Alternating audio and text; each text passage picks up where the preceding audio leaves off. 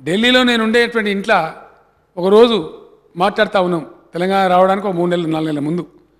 రాత్రి రెండు దాకా కూర్చున్నాం అధ్యక్ష. జయశంకర్ గారు నేను విద్యాసాగర్ గారు ఇద్దరు లేరు అధ్యక్ష. నా దురదృష్టం ఇద్దరు చనిపోయినారు. రాత్రి రెండు వరకు కూర్చొని ఆలోచిస్తే మేము ఆ రోజు మాకు తేలింది. చెరువులే ఫస్ట్ మంచిగా చేసుకోవాలి. అవే అన్నం పెడితే తెలంగాణకు. ఆ కాకతీయ రాజులు కట్- కట్టినారు కాబట్టి వాళ్ళ పేరు పెట్టుకుంటేనే మనకు బరకత్ ఉంటుంది. కాబట్టి వాళ్ళ పేరునే పెట్టాలని చెప్పి తెలంగాణ రావడానికన్నా ఐదారు నెలల ముందే మిషన్ కాకతీయ అనే పేరు మేము స్థిరీకరణ చేసినాం అధ్యక్ష. అది తెలంగాణ వచ్చినాక పెట్టింది కాదు. తెలంగాణ రాకముందే అక్కడి నుంచి ప్రారంభం కావాలని చెప్పి పెట్టినాం తీసుకున్నాం. అద్భుతంగా మిగిలి ఉన్న నలభై ఆరు వేల చెరువులను ఒక యజ్ఞంలాగా చేసినాం అధ్యక్ష. ఎంత అందుకున్నారు ఎంత ఆర్తి తెలంగాణ ప్రజలంటే అప్పుడు హరీష్ రావు ఆ శాఖ నీటిపారుదల శాఖ చూసేవాడు. అతనికి అనుమానం వచ్చింది మట్టి ఎక్కడ పోవాలి? తీసిన సిల్ట్ ఎక్కడ పోవాలి? నేను చెప్పిన హరీష్ మీరు అట్లా కాదు. రైతులను ప్రోత్సహించండి వాళ్ళు తీసుకొని పోతారని చెప్తే లక్షల ట్రాక్టర్ల మట్టి అధ్యక్ష లక్షల ట్రాక్టర్ల మట్టి. సర్కారుకు రూపాయి ఖర్చు లేకుండా కొన్ని లక్షల ట్రాక్టర్ల మట్టిని జనం తీసుకొని పోతారు. పొలాలు సారవంతమైనవి ఈ పూడికలు పోయినాయి ఆ కంప చెట్లన్నీ పోయినాయి కట్టలు బలీయమైనవి కొన్ని డబ్బులు పెట్టి మంచిగా మత్తళ్ళు అవన్నీ బాగా చేసినాం. ఇలా మిషన్ కాకతీయ పుణ్యమే ముప్పై లక్షల బోర్లు సుభిక్షంగా నీళ్ళు వస్తున్నాయి వీళ్ళకేమైనా స్టడీ ఉందా? కాంటూర్ తెలుస్తుందా? ఎత్తుపల్లాలు తెలుస్తాయా? లేకపోతే అడగోలు మాట్లాడతారా? అర్థమే కాదు అధ్యక్ష. ఎందుకండి నాకు అర్థం కాదు కాంగ్రెస్ పార్టీకి కాళేశ్వరం మీద ఏడుపు?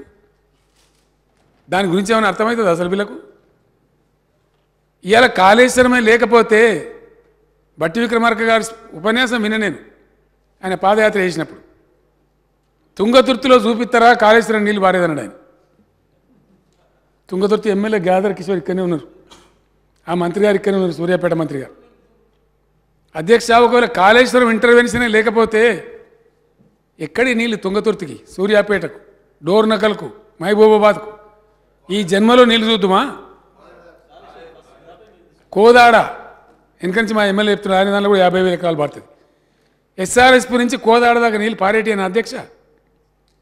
మేము చేసింది ఏంది అధ్యక్ష? కాళేశ్వరం కఠినం కాబట్టి మీకు తెలియదు మీరు కట్టలే కాబట్టి మీకు ఐడియా లేదు. కాళేశ్వరం కట్టినాం కాబట్టి ఎస్ఆర్ఎస్పీని మీదికే పరిమితం చేసినాం అధ్యక్ష.